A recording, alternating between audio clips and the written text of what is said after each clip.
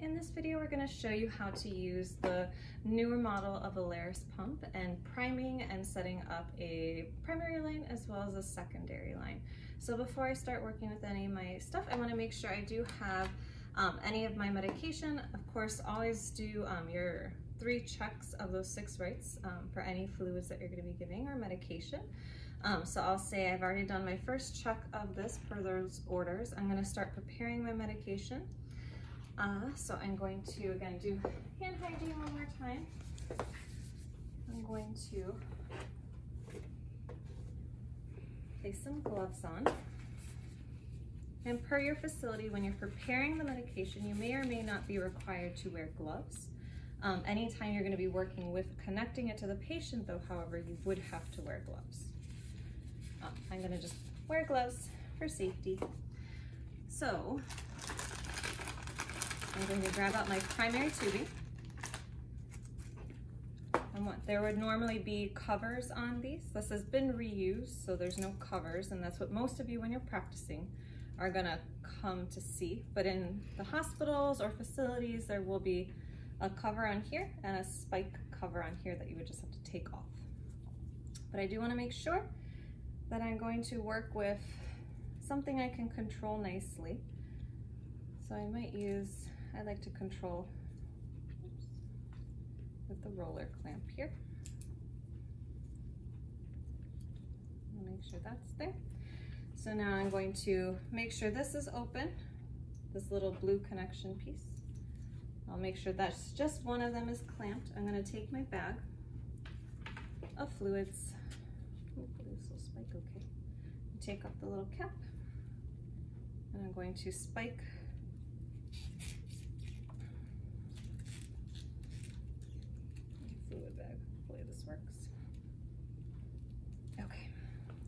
So I'm gonna flip that over upside down. And again, whatever fluids I'm hanging is just all per whatever's ordered by my healthcare provider. I'm going to squeeze this and fill it about like third to half full. And now I want to prime my line. So I need to make sure I remove any air that is sitting within this tubing. So a lot of facilities may have you get in the practice of priming it into the bag that it comes in. Um, so that way you're not hanging it into the garbage can and making it potentially dirty. So all I'm gonna do now is open my roller clamp. And I know this was close because I can't move it. When I open it, it's gonna be able to kind of wiggle around a little bit. So I want to make sure that I'm allowing now just the fluid to come all the way to the end of this tubing. So what I can do is watch it and see. And I know it's you can't see it in the video, but I'm just watching as the water, or the normal saline in this case, is coming all the way down my tubing. And I would want to make sure there's no air bubbles within my tubing. Okay.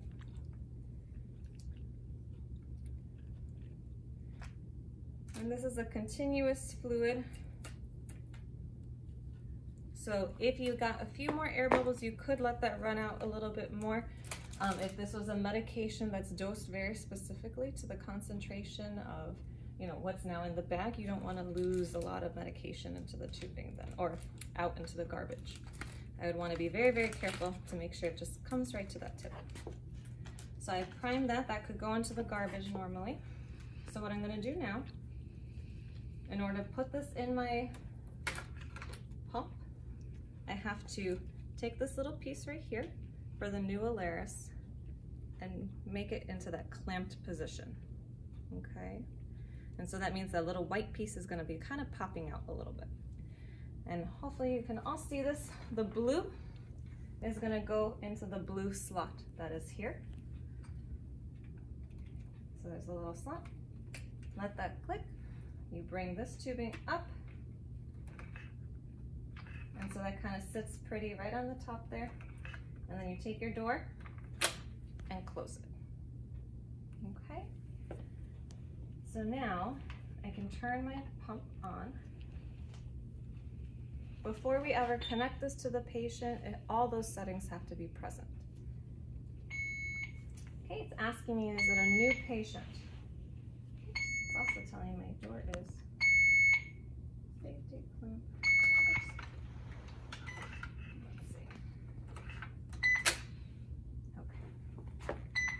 A new patient, I'm gonna say yes. Am I on a medical surgical floor? This is gonna be, again, pertinent to whichever floor you're on or department. I'm just gonna say, yes, I am on a med surg floor. So yes. Um, I don't have any patients that are programmed here because this is a learning model. When you are in the hospitals and facilities, they will have uh, programmed patients. So I can just hit confirm for right now because I'm not gonna tie this to a specific patient. Um, that just means that the pump would be connected within like the computer system and automatically recording certain data for you into your chart. So I want to work with channel A because this right here is an example of a PCA pump. We're not going to be working with that today. I'm just going to be working with my channel here. So I want to select channel select. Okay. You have a few different options when it comes to your pump. There's guardrail drugs. You have guardrail IV fluids and then basic infusion. So for those IV fluids, guardrails, that's where I'm gonna find any of these like big bags of my normal saline, lactated ringers, half NS, those kind of things. Um, I don't want to use basic infusion because that is not going to use any kind of safety guardrails. So I could program whatever I would want into there and technically it could not be safe for the patient. So you want to make sure you go under guardrails. So for IV fluids though, I'm gonna hit that. And now I would just scroll down until I found my medication or my fluids in this case. So I know I'm working with 0.9 normal saline based on my order. So I'm gonna hit the 0.9 NS. Okay, and it asks me that's what was selected. Is that correct? I can say yes.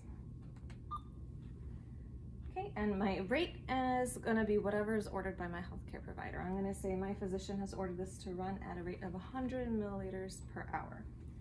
So now I'm going to type, oops, I wanna make sure the rate is highlighted so that way I can input my numbers. You saw without doing that, I wasn't able to press any buttons yet. So 100, I can hit enter to go down to the next line.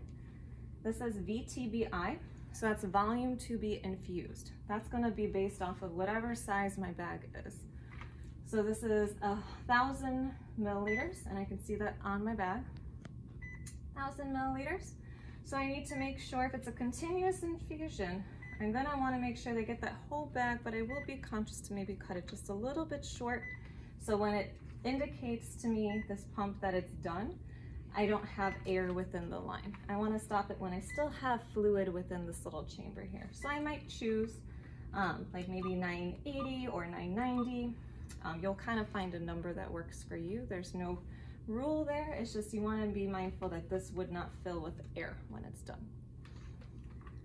All right, and so I hit enter. So now everything is programmed. This is one again I can do another check if I need to. I'm gonna have to do always that third check before anything is like hung if I'm in that patient's room. So all my medication checks would have happened at this point um, before I connect it to my patient.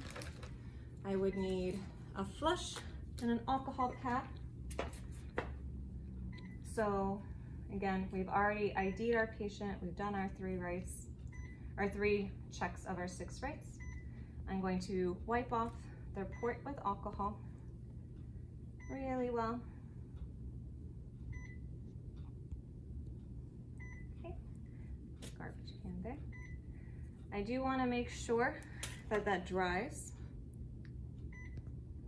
Can get rid of any air bubble that was sitting there. So I'm going to say this has dried. Oh, this is not uh, correct. I need a luer lock.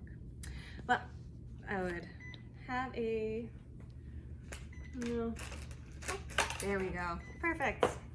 So for a nice little example here, this is an oral syringe.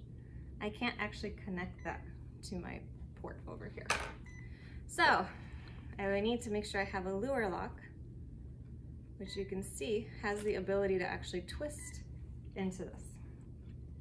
So I just line up that little circle with the blue circle, and then I twist it in. And so at this point, I would unclamp anything here, and I would make sure to, I'm gonna fush a little bit. I always wanna pull back, check for blood, and I would wanna see blood come through here to say, yes, in fact, it is in the vein, and we're gonna talk about that in 226.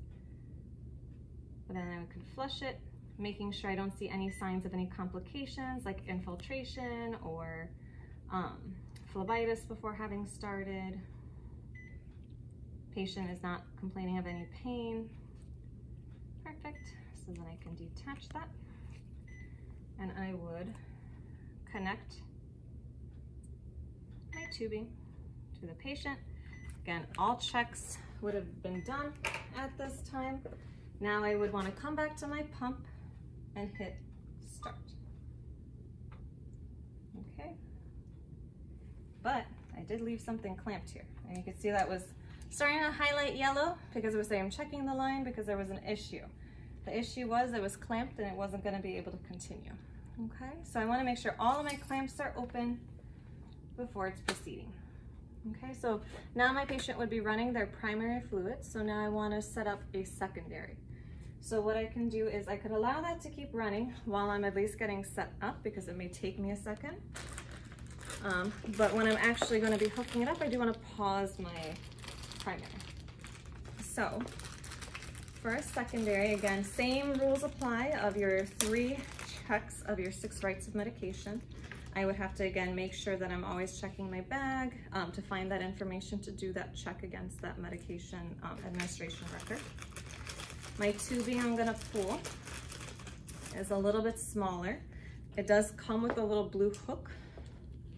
So I can put this primary line through the hook. You'll see some people hang it pretty low. Some patient, or for some clients, you might be able to hang it a little bit higher. All depends on gravity. Once we start running our secondary or our IV piggyback, I would wanna make sure that only the piggyback is running. If this was also uh, dropping a little bit in the chamber, I would have to maybe drop it down a little bit further. So, have that part at least ready. I have my tubing. I always like to make sure, right now that's not clamped. So I like to take it and clamp it so that way I have nice control and I don't get a whole bunch of air into my line. Okay, so for the secondary, you're just gonna have to untwist um, whatever stopper. It's normally like a little plastic piece.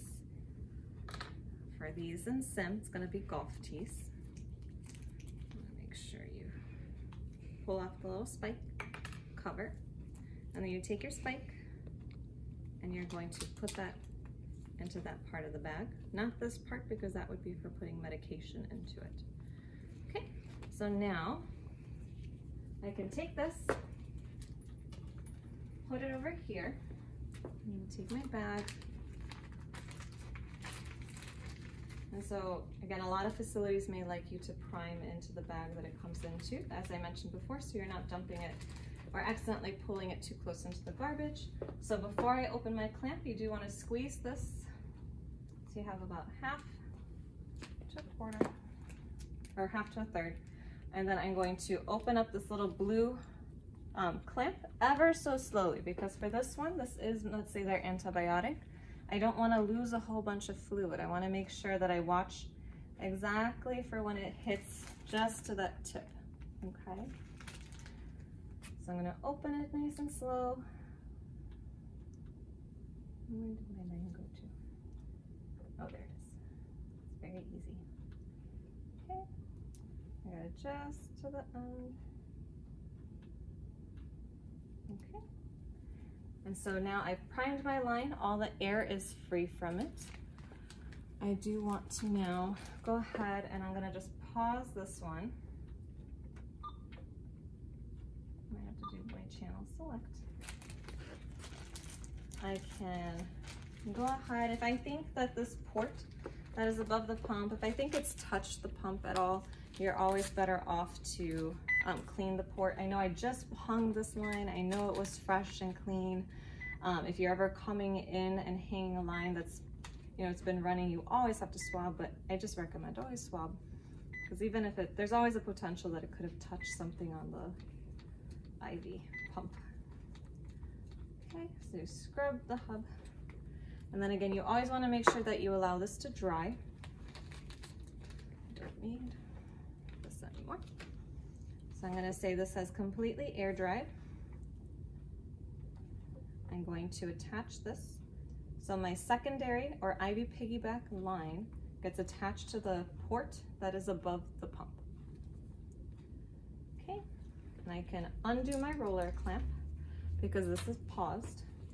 I'm going to do my channel select. I want to hit secondary. So there's a little arrow here under the secondary. And then I set it to whatever my medication happens to be. So in this case, I have vancomycin. So I can either page down, page down, page down, or I can skip down to where V is. And vancomycin is the only one programmed on our pump. So I'm gonna say that is the one. And then, let's see. Oh, perfect. And I have one gram per 200 milliliters. And that actually is the same thing then as this 1,000 milligrams per 200 milliliters. So I'm gonna select that one. If what I needed wasn't programmed, I can always input that data. So select, I'm gonna say yes, this is in fact the right one by hitting the little arrow next to yes. Okay, and so then again, you always wanna confirm. As we've said, we've already done our three checks of those six rights. This is again, that extra confirmation right at that bedside that it is in fact maybe, whoops, oh, 1,000 milligrams in 200 milliliters. So I'm gonna hit next to confirm. And this is again, giving me what the rate is gonna be, how many, what's that VTBI, that again should match my volume to be infused that was on here.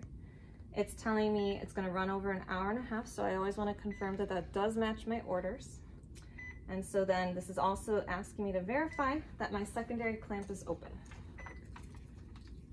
And it is open because I know I can move this around. That means it's open. Okay, wow, no, my settings went away. All right, well you get to see that really quickly. So sometimes if you take too long, it goes away. So I'm hitting the same buttons.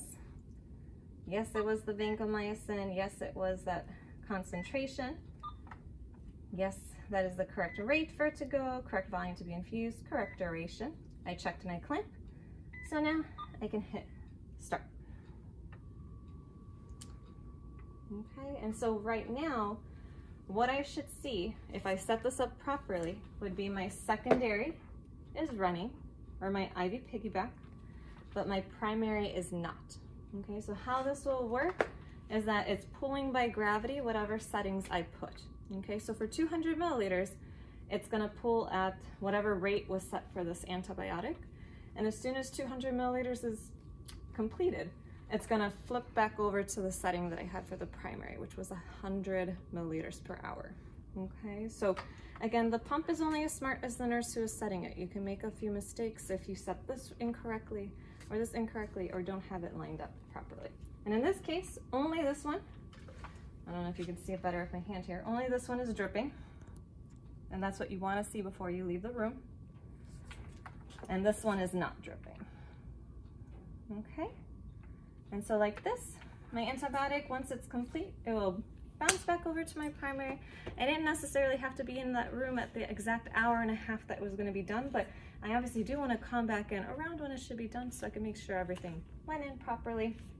And of course, you can always check on your fluids whenever you're doing your hourly rounding. And I think that's it for setting your primary as well as your secondary. Thank you.